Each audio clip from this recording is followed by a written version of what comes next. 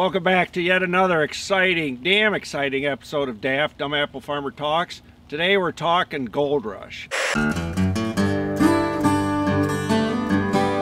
we know we're at the end of the season when we're into Gold Rush, probably the last major variety that we pick. And certainly has long been my favorite apple. Um, this was Co-op 38, so this is yet another scab immune variety developed by Purdue Rutger in Illinois. Um, and has a very interesting parentage. Again, that same Malus flor floribunda, uh, the, the crab apple, the Native American crab apple that imparts disease resistance, scab immunity to these varieties. Uh, Rome Beauty, another sort of commercial variety that seemed to have some disease resistance and is a big part of the parentage of a lot of these disease resistant varieties. This one has a lot of golden delicious in it as well, as you can kind of see from the, the look of the thing. The surprising one is that it's got Winesap as a parent. So Winesap was a great long keeper. Anybody who knows squat about American apples will recognize Winesap as being just a truly great eating, long keeping apple. So Gold Rush, uh, these are not quite there yet. You can see the background color is, is kind of greenish. When we're looking at apples for ripeness, we're always paying attention not to what the front of the apple looks like, but the side not facing the sun, what we call the background color. And you can see that's still pretty bright green. Uh, it's starting to go a little bit whitish.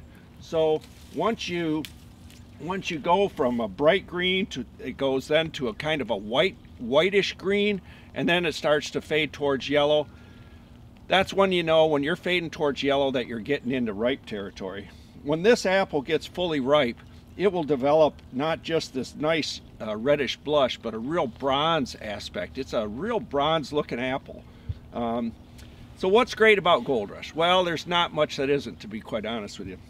This thing, as my dad used to say, eats good. You know, this thing will crunch your teeth off, man. It's hard apple.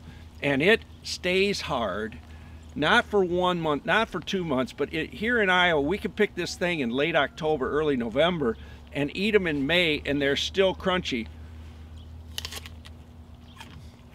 Well, you break your damn teeth on this thing like most winter apples, they are going to change with time.